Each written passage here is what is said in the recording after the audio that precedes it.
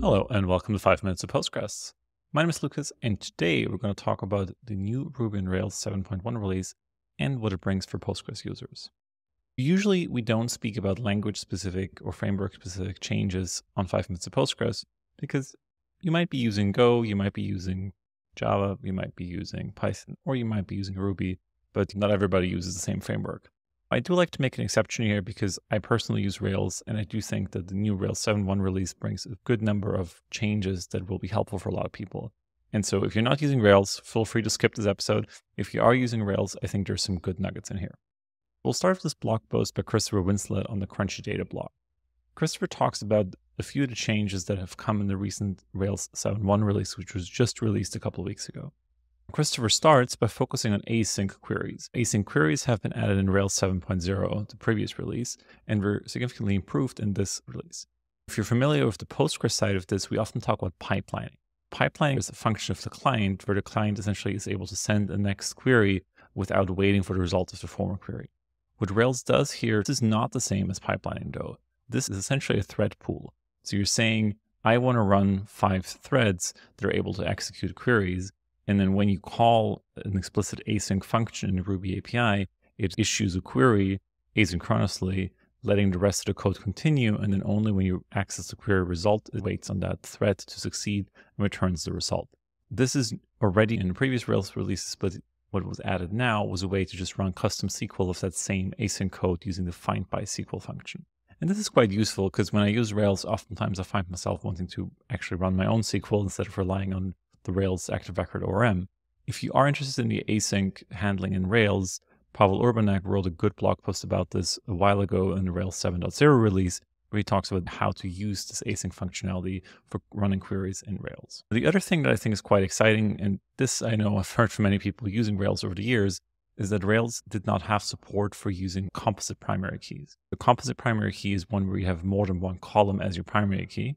Oftentimes in Postgres, that makes sense because if you have a join table between two different tables, you might not want to add an ID column to the join table. Instead, you could just have the IDs of the respective tables be the primary key for that join table. And so with Rails 7.1, you can actually finally use composite primary keys officially in Rails. You no longer need to rely on third party libraries to support that. Now you can create your tables in your migrations, and Rails will know what to do when you pass it multiple primary keys when you're finding records quite useful feature that I'll see myself using as well.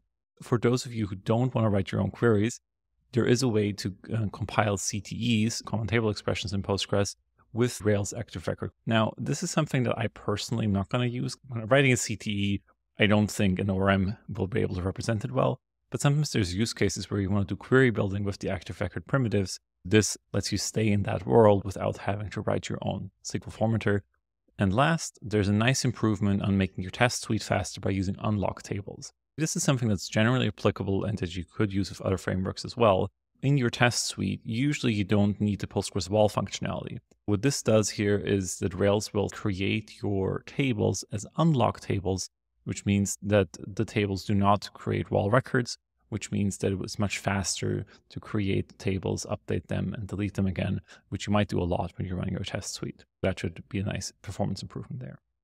I noticed one other thing in Rails 7.1 that wasn't pointed out here yet. This is very specific, but I think it will be helpful for those of you who use Rails in production and who want to make sure to understand where your queries are coming from when they hit the database side.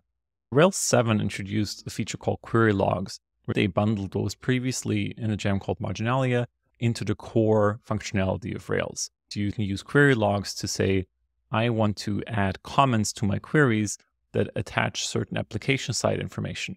And this helps you when you're looking at the database side of the house. Imagine you're using pganalyze, for example, you're looking at a query in pganalyze. We use these query tags to highlight to you where in your application query is coming from. So this is very useful and you can enable this quite easily now in Rails by just turning on this query log tags enabled flag. That's great to have. Now what Rails 7.1 introduced was using SQL Commenter. SQL Commenter is a project that standardizes how query tags are structured. Previously, Rails was using the older marginalia syntax, but now they switched to the official, more standard syntax of SQL Commenter. For comparison, Previously, you might have seen a query tag like this, where it's using the old style syntax. Now you have the newer style syntax, which essentially uses URL encoding for the values. This is very useful if you have more complex tags that might contain Unicode characters and things like that would also be supported now with this SQL commenter syntax being used by default in Rails 7.1. This is a best practice that I would recommend everybody adopt, be it Rails or other frameworks, is making sure your queries are annotated with the origin, where in the application they're coming from, so you can understand better which part of the application is slow based on slow query performance.